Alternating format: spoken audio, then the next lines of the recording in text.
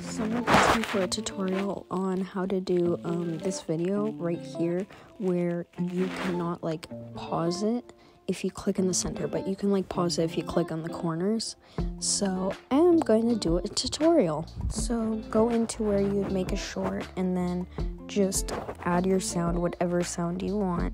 Um, I just picked a random sound and then start recording.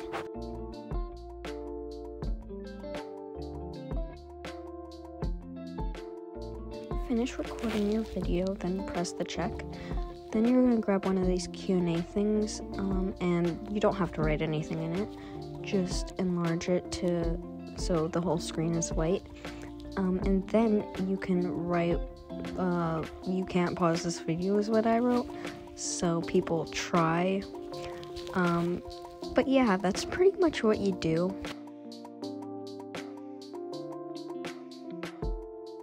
Then press next and it takes a minute to load but you can um, put a caption on it and then post it. It's actually really easy. It blew up and people were like oh i can pause it i can pause it. I know.